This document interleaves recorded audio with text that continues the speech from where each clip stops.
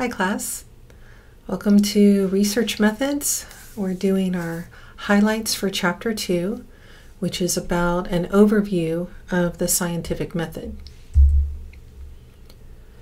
Um, basically looking at this cyclical um, process that we use for doing research in psychological science uh, using the scientific method.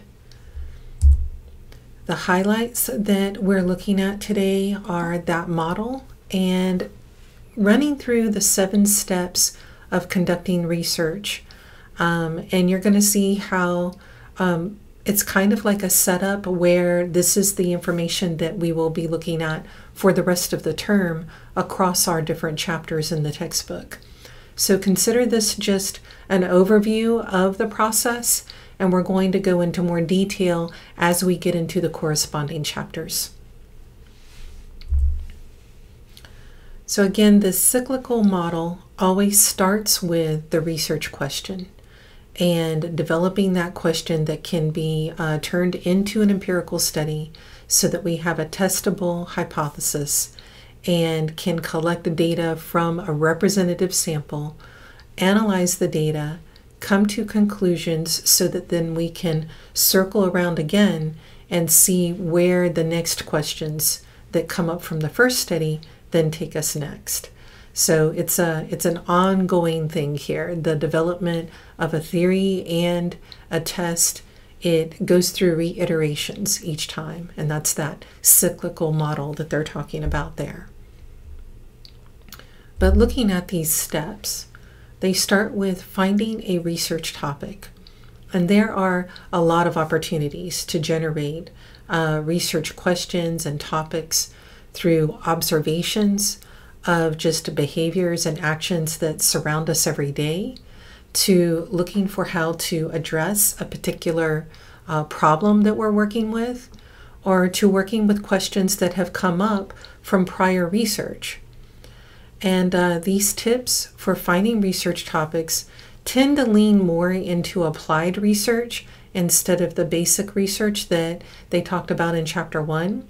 But you could use uh, these same um, tips for generating a research topic to look at basic research as well. I find that the more challenging part is finding a research topic to narrow down to a testable feasible portion of it. Like we often come up with ideas that are just too big to be able to test. And then here in the picture, I have Dr. Cass with his lab that was looking at distracted driving with a driving simulator. In fact, if you want to see more of his lab, I put a link in the um, Canvas area where you can see other things he does in his lab. The second step that they talk about in your chapter is reviewing and searching for uh, research literature and looking at these primary research literature sources. So, like peer reviewed journals that do empirical research or literature reviews or theoretical articles, or also scholarly books if they are in like psychology or related fields. So, not really like a self help book or just a, a popular press book or magazine. It would be something that has undergone the peer review process. And it's quite a process where, like, when I have a, um, a research that I've completed writing, I would submit it to a journal, but I have to take my name off of everything so that it's blind. The reviewers don't know who wrote it. And then I don't get to know who the reviewers are either. So they're I'm blind to who is looking at the paper, right? And so my paper would go first to the editor, and the editor would decide if it's going to go out to the reviewers. And they would send it to two or three uh, peer reviewers, someone else who knows about the same um, concepts and the same types of analyses that I'm using, and they would look it over and see if it's up to standard, up to what the journal uh, journal's aims and scope and focus is, and they would the reviewers would look at it, write up a little evaluation, and send that back to the editor. And then the editor would decide if my paper needed revisions or they weren't just not going to accept it. So it, the decision ends up being either rejected or revise and resubmit. They never just accept it. So it's quite a process. Uh, can take like a whole year to run through that process and all its steps for peer review to look over other people's work. And then they also mention in this chapter about the literature search and how um, they point out the um, PsycInfo search engine, which we'll be using when we do our PsycInfo exercise. But there's also other search engines like ResearchGate, Google Scholar, and our library uses EBSCOhost uh, as a database as well for us to be able to have access to literature. And there's a lot of interesting uh, conversation on the web about open access research so that you're not dependent on having a library that has access to databases for you to be able to read what the research is. So that's a pretty cool development going on as well.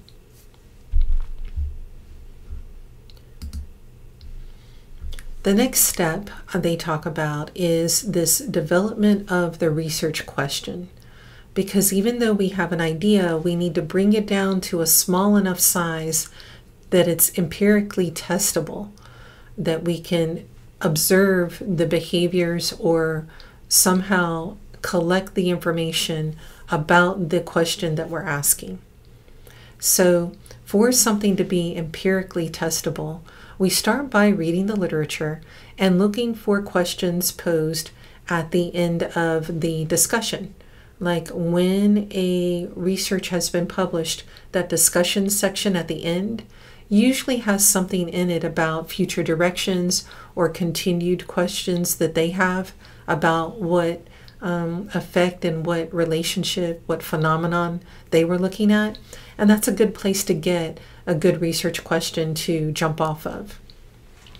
But we can also look at research questions in those areas that were goals for science, like looking to describe, uh, describing how frequently does a behavior or a phenomena happen, or how intense does this behavior seem to happen, how frequent. We could also look to predict. In other words, is the targeted behavior associated with some other variable, like maybe it's associated by gender, that it's more frequent for women than for men, or maybe it's associated with industry, that it's more frequent for high stress industries or job roles than for other job roles. We could also look at making a research question that will explain a behavior and look for the possible causes of the behavior or the occurrence. And then, after we have the research question, we need to evaluate how interesting and feasible is it. And when they talk about interesting, they're talking about does the answer to this research question actually impact anyone else? Like, is it important to everyone, not just the researcher? Or is it a behavior that has a high prevalence? Like, you could say um, um, anorexia coupled with substance abuse.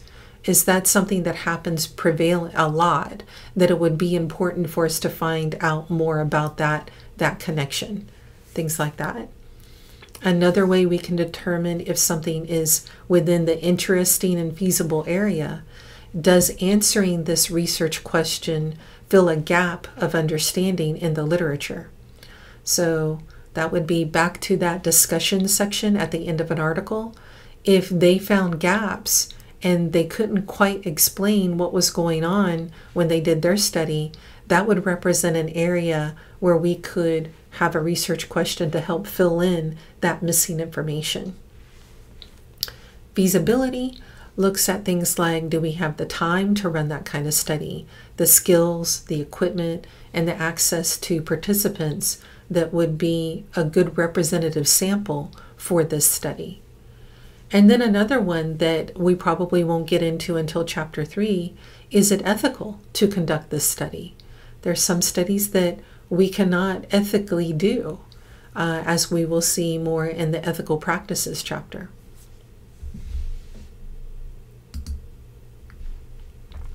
Our next step uh, talks about developing the hypothesis.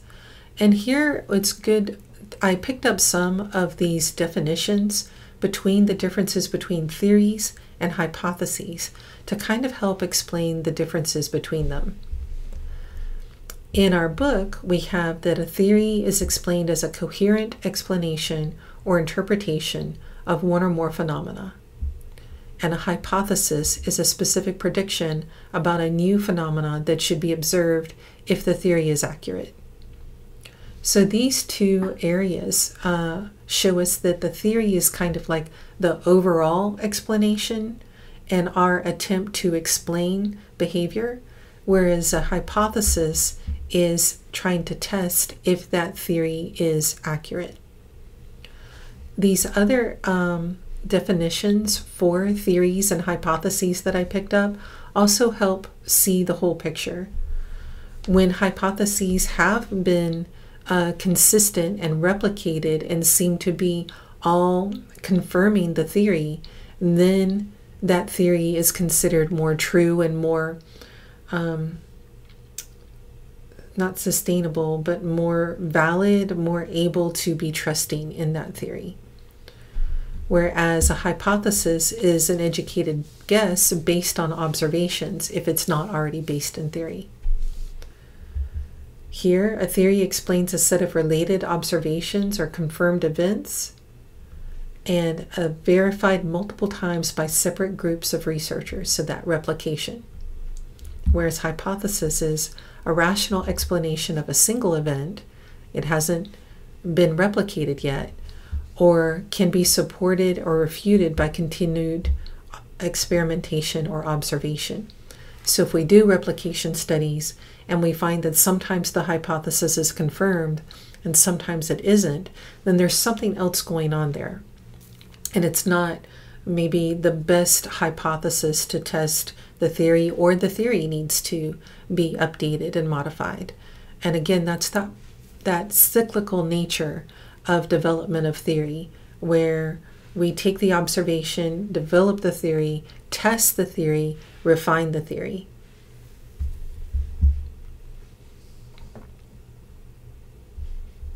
Evaluating a hypothesis comes down to is it testable? Can it be falsified?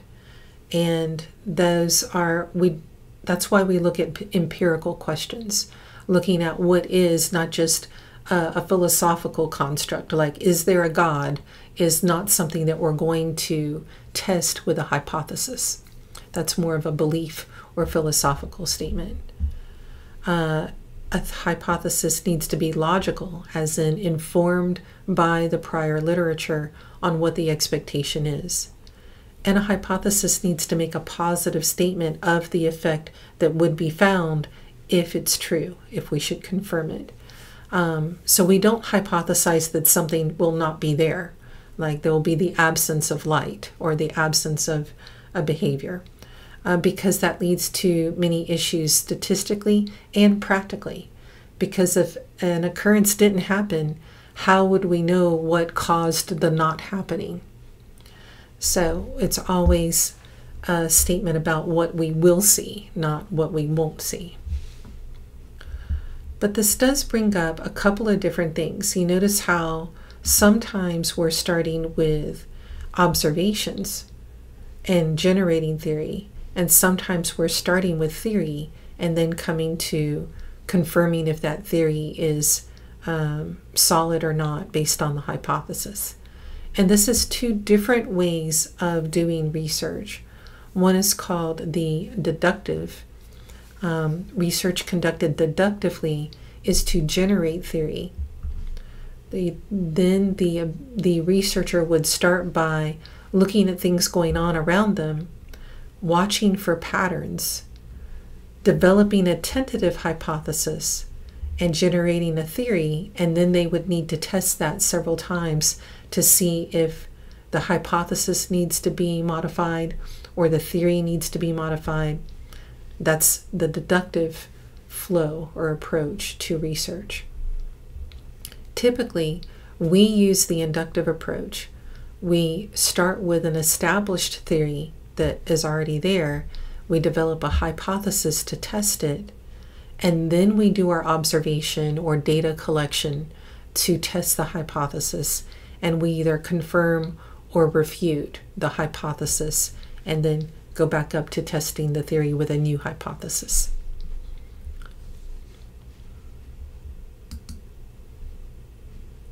The next step that we talk about in the chapter or overview in the chapter are these study designs. Designing the study itself, there's a lot that goes into this.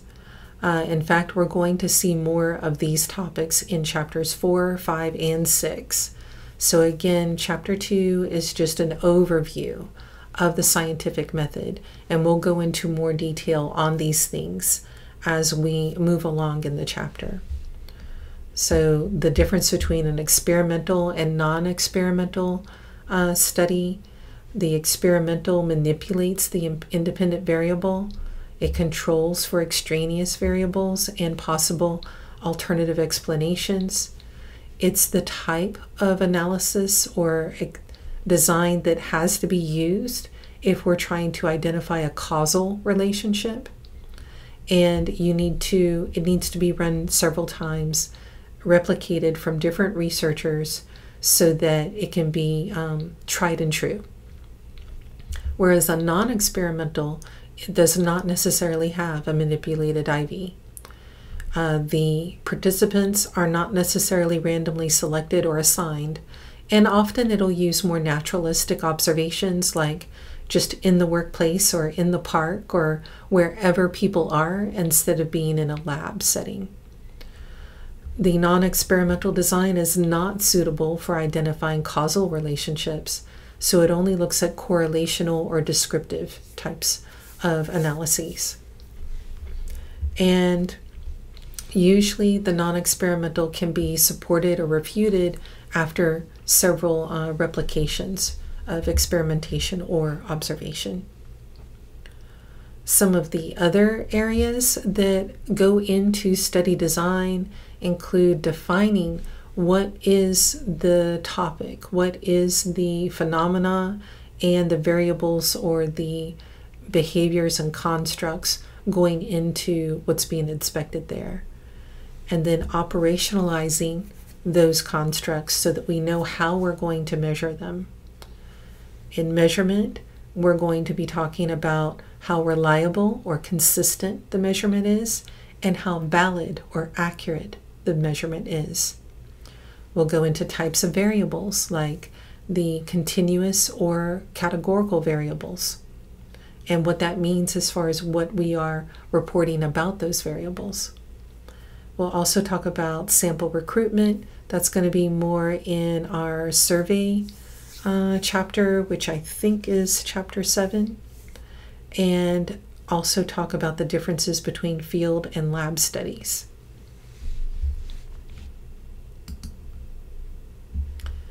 The next step that chapter two or tells us a little bit about is the data analysis.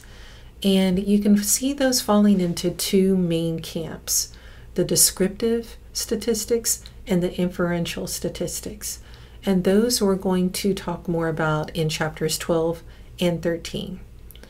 But along the way, we will also discuss uh, measures of central tendency, measures of variability, type 1 and type 2 errors, where the probability of making an error in our conclusion, what does that look like? So I did give us a um, website to check out for the seven most common data analysis mistakes to avoid. Um, but it's just, I'll leave it in the Canvas area so you can check it out.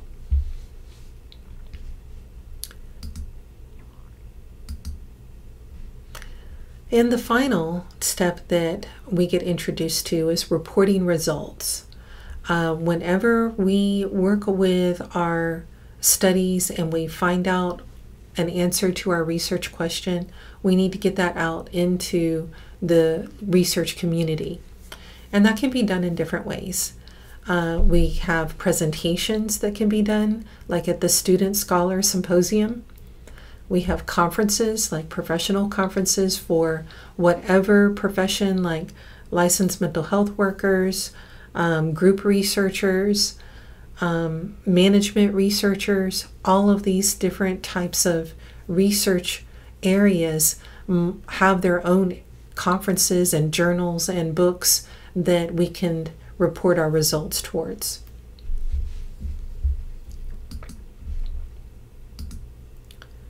So, going back to this idea of the cyclical nature of a research process and how it starts with the research question, you develop the study and collect the data, do the data analysis, come up with conclusions, and then goes back to uh, the research literature by publication and looking at what else might be a gap in the literature there. So, this is the process that we were introduced to in the chapter, but you can see it in different forms as well. Like this uh, four step one that I use in my lab is a framework that I use to help describe the research process to students who get involved in my lab and I'll walk you through it real quick just for you'll see that it pretty much matches the same thing and you will see different ways of describing the research process in different books or websites that you check out. So for my lab, I tell students that it starts with the design, coming up with that research question. It defines the purpose of the study. And then we review the prior work, prior findings, prior methods, any gaps or limitations in the prior work, and this helps to develop the hypothesis. The hypothesis serves as the basis for the design of the study, including um, if it's going to be experimental or non experimental, or where it should be conducted and what kinds of data should be collected, who should be the sample, and what statistical techniques to use. The hypothesis guides all of those once it's determined. That's why researchers have to develop a very strong, solid, testable, empirical hypothesis because everything else hinges after that. Then conducting the study. So, again, what design is being used, what type of sampling, is it going to be a random select an assignment? Is it going to be lab or in field? And looking at that measurement quality, is it consistent, like reliable? Is it accurate, as in valid? Then analyzing the data. After it's collected, the statistical techniques are to describe the sample and the differences and relationships going on in the sample or to make inferential statistical uh, claims where we are claiming that there's a predictive relationship or a more complicated relationship called a moderated or mediated relationship, or if we're testing for causal relationships. And then the goal to report uh, our hypothesis findings, to answer the research question, and to provide more understanding about that phenomena or that area of interest back to the research community. So it's quite a build. The research question informs the hypothesis. The hypothesis informs everything else. And then when you're conducting and analyzing, all of those work together. They affect each other and that informs the statistical techniques that we're using and brings us to the goal of reporting. And after it's all reported, you have more questions and you go back up to the top. So it can be a hot mess. It can be very busy. Um, that's why research takes a long time, is because there's a lot going on there. But that chapter two again was just to give an overview of the research process and how it's cyclical in nature and has a lot of moving parts. And like I said, we will go into more of these in detail in our future chapters. I did want to take a minute and kind of talk about our data project. So, how does all this information relate to our research methods instructor? Well, he has a lot to do with these tasks that we just discussed to answer his research question of how do students perceive research method skills as relevant to their future work and lives. So, we're going to be helping Professor Bob with the literature, with uh, article summaries about relevant literature that helps inform what he should do with his research question, all the way through uh, collecting the data, doing analysis, and doing the final write up. Phew, so that's your overview for now. Um, just a couple of deliverables for chapter two before we start really cranking in here. You need to do your chapter Q&A discussion board and your chapter quiz. And have a great week.